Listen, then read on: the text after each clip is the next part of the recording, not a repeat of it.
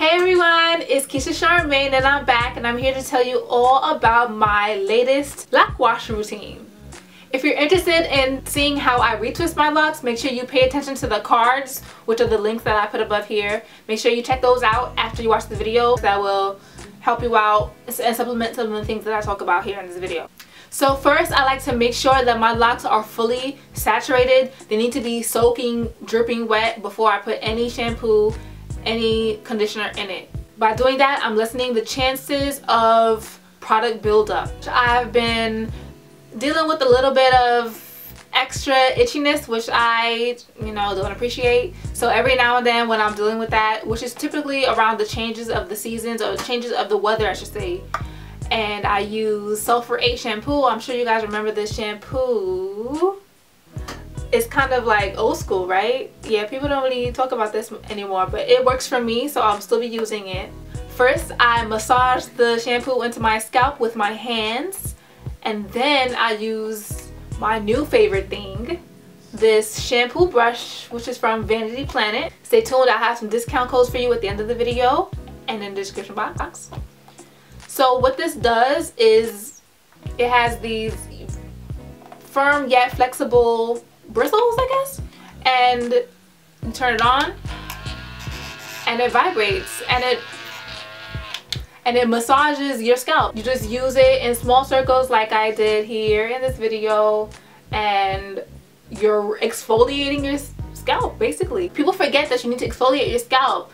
Your scalp is skin just like your face and your body is. So just like you exfoliate your face and body, you gotta exfoliate your scalp too. So this is really good for that. It helps to remove, you know, still stubborn flakes and dandruff and really reveals healthy, rejuvenated, new, born skin. So yeah, I like to use this. I've been using it for a while now and I've been noticing whenever I don't use it, I have to wash my hair the next day. Or I don't really have to, but I just want to wash my hair again because I just didn't get that feeling that I got like I got when, when I used the brush. So I really like it. It uses AA batteries or just one battery actually. Yeah.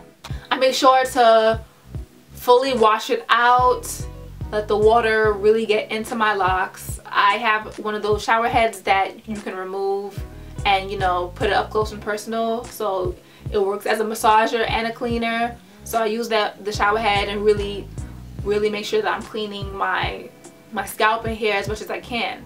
I even use the brush to help massage my locks. It's like, you know, like our locks, they tend to hold product. They do, they do.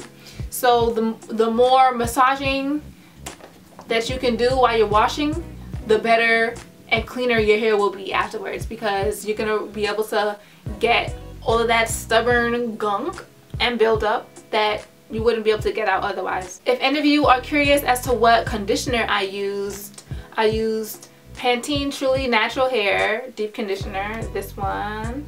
And this is my favorite right now. I don't really have favorite shampoos and conditioners and products like that and moisturizers. Well, moisturizers I do.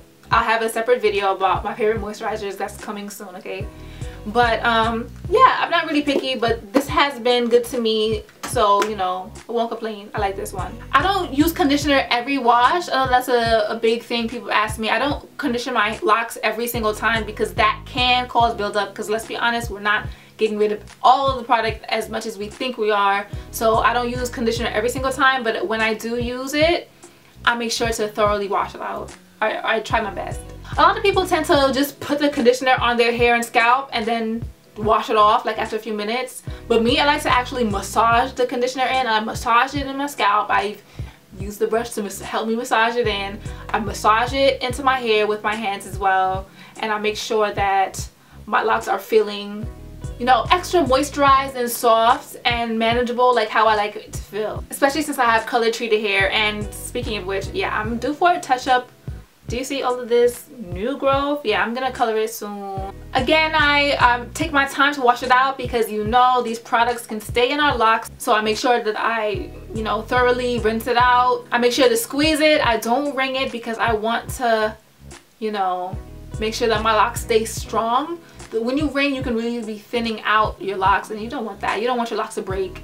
You don't want them to, you know, fall out and be brittle. So I just squeeze the water out as much as I can and then I use a microfiber towel to take out the excess water and that's really it. That's how I wash my locks.